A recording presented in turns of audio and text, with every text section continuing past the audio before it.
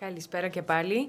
Ε, πράγματι, σάλος έχει ξεσπάσει ε, σε σχέση με αυτή την ιστορία που πρώτο αποκάλυψε η Washington Post μέσα στην εβδομάδα, την Τρίτη.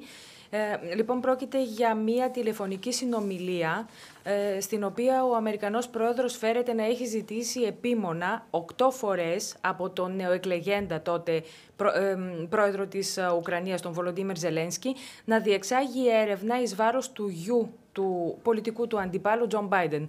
Ο Τζο Μπάιντεν είναι υποψήφιος για το χρίσμα των δημοκρατικών για τις προεδρικές εκλογές του 2020.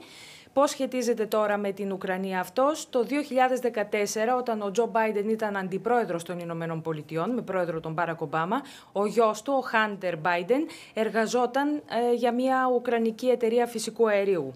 Και έτσι ε, φέρεται ο Ντόναλτ Τραμπ να έχει ζητήσει επίμονα λοιπόν από τον Βολοντίμερ Ζελένσκι που βλέπουμε αυτή τη στιγμή ε, στην οθόνη μας ε, να διεξάγει έρευνα προκειμένου να εντοπίσει αν ευσταθούν οι καταγγελίες για παρατυπίες εκ μέρους του Biden όταν ήταν αντιπρόεδρος.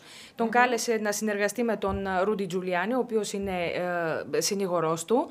Ε, και αυτή τη στιγμή ε, έχουμε μια κατάσταση στην οποία ο Τζο Μπάιντεν ε, ζητά επίμονα από τον Ντόναλτ Τραμπ να αποκαλύψει το, την απομαγνητοφώνηση της τηλεφωνικής συνομιλίας. Ο Λευκός Οίκος δεν απαντάει.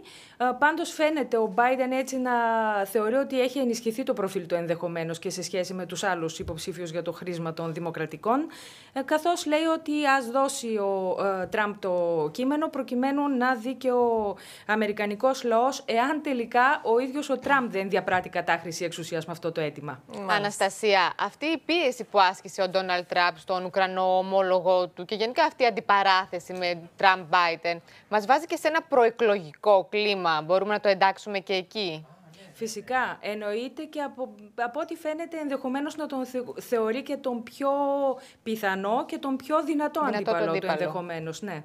Γι' αυτό να θέλει να τον χτυπήσει. Ίσως ναι. Αναστασία, ευχαριστούμε πάρα πολύ.